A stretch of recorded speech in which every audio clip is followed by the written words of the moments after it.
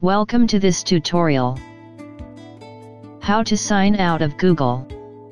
If you use your computer in an unsecured place then it is always good to sign out of Google. Follow these steps to sign out of Google. Open your Chrome browser.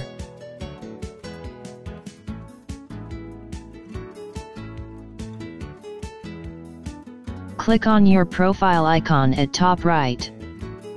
Now at the bottom, click on the sign out button. See, how simple it was.